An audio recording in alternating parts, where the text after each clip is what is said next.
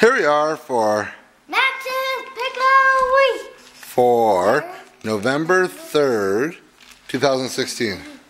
Bat. It's a game used bat.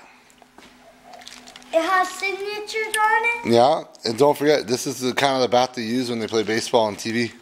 Yep. Mhm. It's a Louisville Slugger, and it's Danny Valencia, Minnesota Twins, game used 2011. Pretty cool. It's a game used bat. Yeah, don't do that.